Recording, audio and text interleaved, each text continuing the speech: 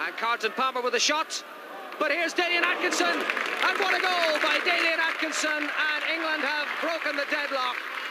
A superb goal from the English centre forward. And Mooney.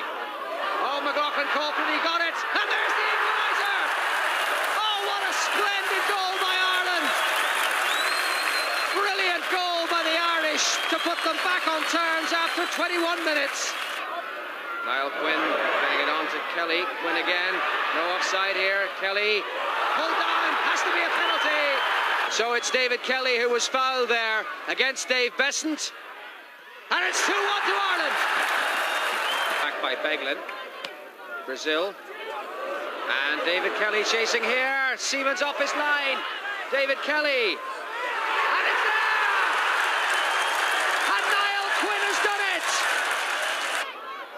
Mark Kelly against Ian Snodin. Played back from McLoughlin and Quinn in the back.